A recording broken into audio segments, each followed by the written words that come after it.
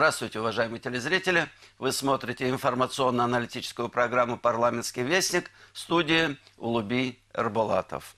И сегодня у нас в гостях депутат Народного собрания Республики Дагестан, член Комитета по законодательству, законности, государственному строительству и местному самоуправлению Амирханов Амирхан Ахмедханович, представляющий в парламенте Навалахский район. Амирхан, вы хоть и не работаете на постоянной профессиональной основе, активно участвуете в обсуждении и подготовке законопроектов в вашем комитете.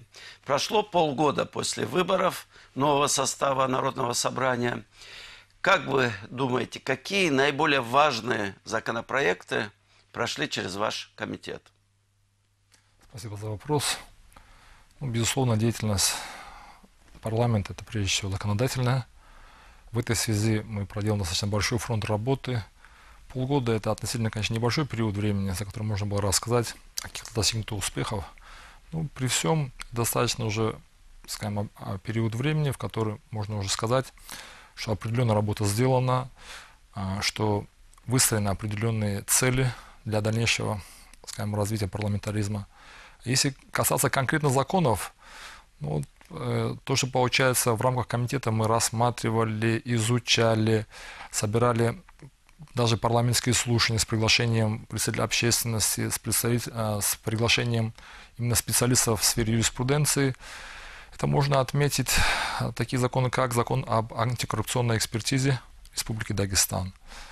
Можно отметить закон об порядке эвакуации транспорта оставлено вне мест, отведенных для парковки. Сюда же можно добавить закон, который мы рассматриваем по сегодняшний день. Это закон о статусе депутатов Народного собрания. Здесь есть определенные сложности, они связаны с тем, что а, федеральное законодательство регламентирует определенный комплекс, но не прописывает процессуальный порядок притворения. Поэтому в этой сфере сейчас ведется работа для того, чтобы это привести в соответствие с требованиями Э, с тем, чтобы это именно работало и давало свою пользу. То есть вот такого рода вот работу мы проделываем. Работа у нас заключается не только, мы собираемся, там, консультируемся, э, каким-то образом проводим дебаты. У нас работа достаточно живая. Например, э, в сфере развития законопроекта о внесении изменений в закон об эвакуации автотранспорта мы с депутатской группой, с привлечением специалистов, выезжали ГИБДД по Республике Дагестан, встречались с специалистами, встречались непосредственно с населением, которое э, столкнулось с подобного рода процедурой, выслушали их, э, выслушали их пожелания, их претензии, выезжали непосредственно на штрафстоянку, изучали условия и порядок ее работы. То есть непосредственно через практическую призму мы пытаемся выработать механизмы, которые были бы наиболее удобны, наиболее совершенны для именно применения на практике, для того, чтобы удовлетворить именно потребности нашего населения. А вот в других регионах вы не смотрели, как этот закон работает? А, да, безусловно, в своей работе мы изучаем практику регионов, поскольку всегда идти уже по проторенной дороге проще бывает. В частности, вот буквально неделю назад я был в командировке в Москве, и мне довелось встретиться в департаменте транспорта города Москвы с его заместителем Корнеев, такой есть, угу. достаточно квалифицированный специалист. Вот именно вопрос этот мы с ним обсудили. А, практика Москвы для нас очень полезна. То есть тот опыт, который они выработали, мы хотим применить сейчас на уровне нашей республики. Э, те вопросы, которые нас беспокоили, именно вот вопросы с точки зрения законодательной регламентации, с помощью них мы прояснили. Я думаю, что в ближайшее время именно вот э, в, той, в том свете, который нам вот кажется полезным, этот закон у нас выйдет именно в свет. Угу. Вот э, еще поясните, пожалуйста, вот ваш комитет э, как раз таки называется по законодательству, да, то есть как бы один из таких основных базовых угу. комитетов. Вот э, два типа законопроектов, да, одни разрабатываются у вас, значит, точнее говоря, у нас в республике, а другие есть законопроекты, как говорится, которые приводят в соответствии с федеральным законодательством, да? Есть вот это различие, и в чем оно заключается? Вот, и как, каковы там возможности республики поправить что-то федеральное? Есть такие вообще возможности? Ну да, безусловно, вы правильно отметили, что есть у нас федеральные законы, если более юридическим, скажем, правильным языком изъясняться, есть республики субъектов Российской Федерации, в частности, закон Республики Дагестан. Угу. Безусловно, в какой-то сфере эти, на этих уровней законные и законодательные законопроекты, они корреспондируют, безусловно. То есть есть сфера совместного ведения, которая должен быть и регламентация федерального, получается, уровня власти, и, безусловно, субъекта Российской Федерации. Ну, есть законы, которые мы принимаем без оглядки на, федераль, на федеральный центр по той простой причине, что это сфера деятельности именно внутренняя, внутриреспубликанская. Да, да, полномочия, переданы, да, которые да? переданы, безусловно, это угу. еще Конституция регламентирована, вот, перечень вопросов. Угу. Поэтому, безусловно, приходится сталкиваться. Но так или иначе, мы живем в едином государстве, и мы обязаны учитывать специфику э, федеральных законов, их преломление на практике, скажем, наших регионов, безусловно. А, согласно порядку именно а, инициации и рассмотрения законопроектов в нашем высшем законодательном органе власти Государственной Думе, дальше Федеральном собрании, мы как э, парламент субъекта обладаем правом законодательной инициативы, то есть мы можем выходить с предложениями о внесении поправок, изменений, дополнений. То есть подобное право у нас в Конституции предусмотрено. И, безусловно, мы его реализуем, насколько это представляется нам возможным. Ну, я говоря проще, вот, э, чтобы людям было понятно, нашим телезрителям, вот, допустим, есть закон, там, регламентирующий время, когда нельзя шуметь, там, вот, по тишине, да, допустим, к примеру, с 11 там, до 6 утра. Федеральный закон говорит. А может э, народное собрание не с 11, а с 10 поставить вот время вот такое вот. То есть вот мне интересно, есть ли возможности у парламента республиканского менять вот эти э, некоторые границы, которые в федеральном законодательстве? Ну, очень хорошо, что вы этот закон вспомнили.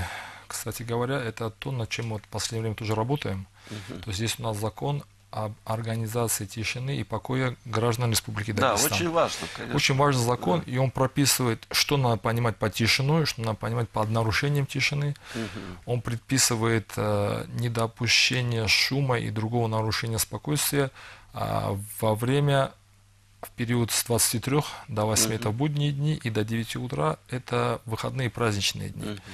Вот в этой связи у нас был принят закон, но вот ответственности за нарушение вот до последних времен у нас не было. Uh-huh. Вот буквально в Кодекс Республики Дагестан об административных правонарушениях мы ввели сейчас норму административно-правовую, согласно которой лица, которые нарушают спокойствие и покой, будут привлекаться в соответствии с данным законом административной ответственности. Угу.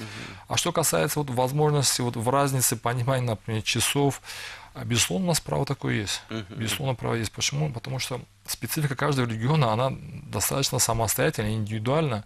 Если ее не учитывать, я не понимаю, зачем вообще нужно это да. Да, То есть, парламента ну, на уровне субъектов. Да даже, будем говорить так, Россия огромная страна, огромная где страна, масса да. часовых поясов, Безусловно. даже э, да. темное время суток наступает Безусловно. в разное время и так далее. Безусловно. Но вот здесь вот такой нюанс, я все-таки хотел бы, чтобы люди понимали, вот я на собственной практике в своей жизни сталкиваюсь, иногда просыпаешься в воскресенье от того, что там 8 часов утра уже кто-то начинает сверлить и долбить там что-то, стены там и так далее. Вот что делать человеку, вот есть это прописано в законе, законе. Да, безусловно. Как я уже сказал, если Кому это обращаться? выходной ага. или праздничный день, а, не, не имеет права беспокоить спокойствие наших граждан э, никто и ничто, получается, до 9.00. Угу. В этой связи, если подобный факт имеет место, надо просто назвать соответствующий орган правоохранительный, в частности, участкового, в полицию. Можно пригласить участковую полицию. Угу. Это их непосредственная задача угу. по обеспечению общественного порядка Поэтому в этой связи... То есть отказать они могут, они обязаны Они явиться. не отказывали, они не отказывали. По своей практике они, безусловно, реагировали, но не было механизма привлечения к ответственности. Если это, скажем, э, пограничило с грубым нарушением общественного порядка, ну, могли привлечь к административной ответственности по хулиганству. Но если не было грубо нарушения общественного порядка, ну, ограничились только разговорами и просьбами там, не шуметь. Ну, а сейчас, в данном случае, я считаю, это более должно быть действенно. Есть способ даже наказать вот нерадивых Понятно. соседей. Причем это очень актуально в свете развития у нас в республике всяких увеселительных заведений, которые Мгм. особенно в летнее время совершенно не считаются интересами рядовых граждан и могут до утра и громкую музыку, соответственно, себе позволить и прочий вот шумораздражающий эффект. Поэтому в свете этого закона это очень полезно, потому что есть повторное привлечение за подобное нарушение, оно уже более жесткое, Мгм. скажем, ставит потолки ответственности. Поэтому это очень все, я считаю, полезно и актуально. Ясно. Ну, как вы сказали, законопроектная работа очень важна, но люди, вот как правило, о депутате судят по его работе как бы с избирателями.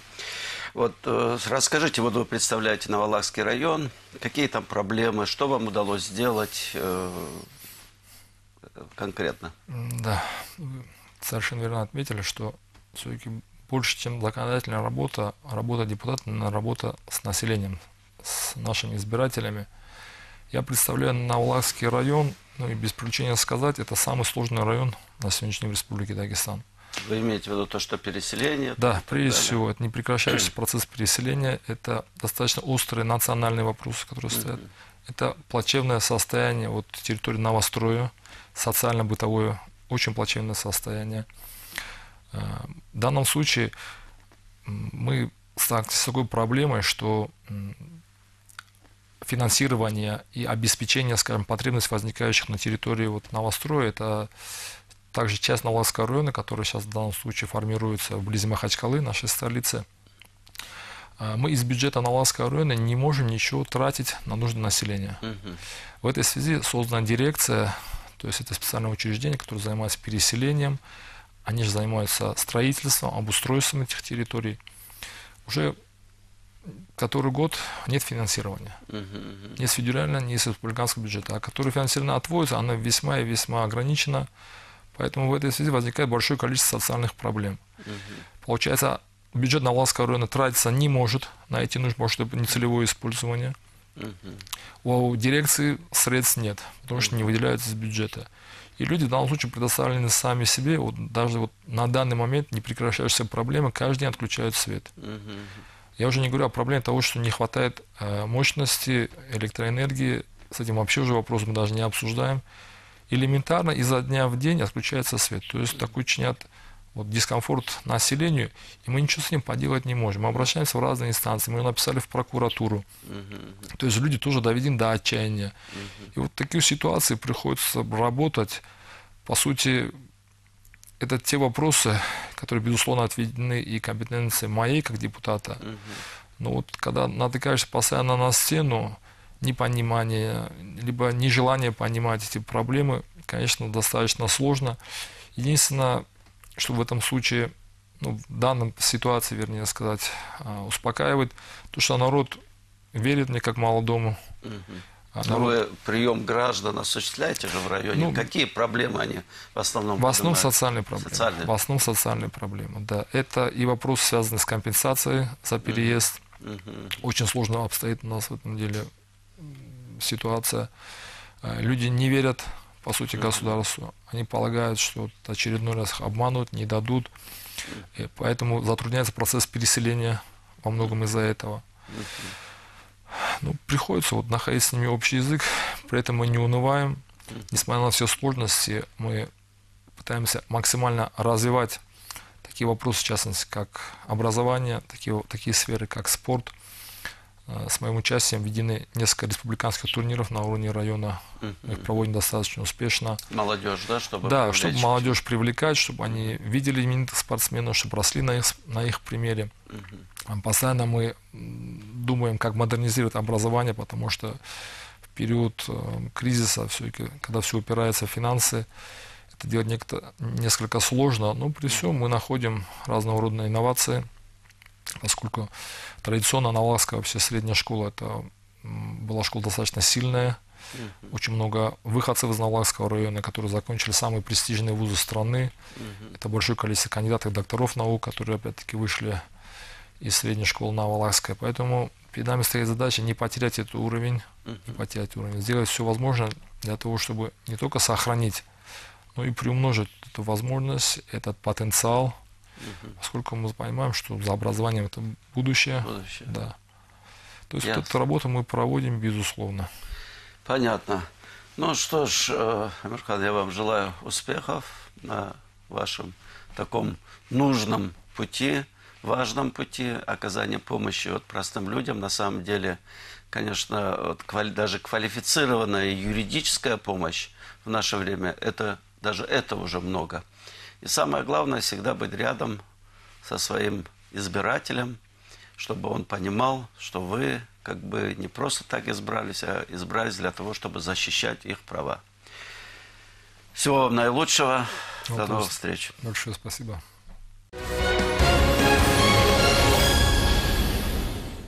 На прошедшей неделе в Народном собрании обсудили ход подготовки и проведения весенних сельскохозяйственных работ. Вел совещание первый заместитель председателя Народного собрания Республики Дагестан Сагид Ахмед Ахмедов. В работе совещания приняли участие депутаты Народного собрания Асиат Алиева и Марина Котенко, министр сельского хозяйства и продовольствия Муса Эфенди Велимурадов, глава администрации Кизлярского района Александр Погорелов и другие. Сагид Ахмед Ахмедов в своем выступлении подчеркнул, что в послании главы Республики Дагестан Народному собранию было отмечено, ключевой отраслью для Дагестана является агропромышленный комплекс, который оказывает существенное влияние на экономику республики и обустройство дагестанцев. И как показывает опыт, эта отрасль может быть успешной. За последние четыре года производство продукции сельского хозяйства выросло почти полтора раза.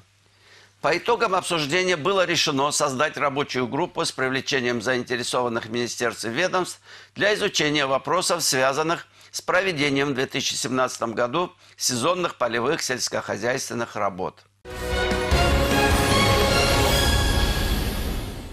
В региональной общественной приемной Дмитрия Медведева в Махачкале продолжается прием граждан.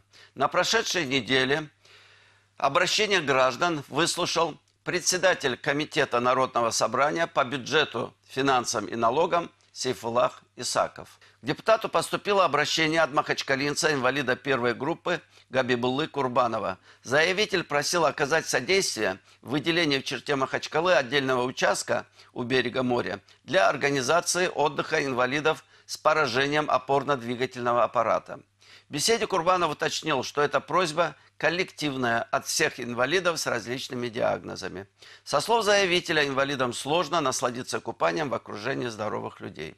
По данному вопросу было поручено подготовить официальное обращение к руководству Республики и администрации Махачкалы с просьбой о содействии в выделении участка пляжа и его обустройстве для комфортного отдыха людей с ограниченными возможностями. Следующей к депутату Народного собрания обратилась жительница Махачкалы Зухра Насрединова, опекун сироты Нажмутина и Многожарова, с просьбой о содействии поступлению юноши в Московскую государственную художественно-промышленную академию имени Строганова. Со слов заявительницы, с самого раннего детства у мальчика был интерес к живописи и склонность к рисованию. И его мечта – это продолжение учебы в Москве. На имя руководства Академии будет направлено соответствующее письмо ходатайства. Будем надеяться, что мечта этого талантливого юноши сбудется. Уважаемые телезрители, на этом у меня все. До встречи через неделю.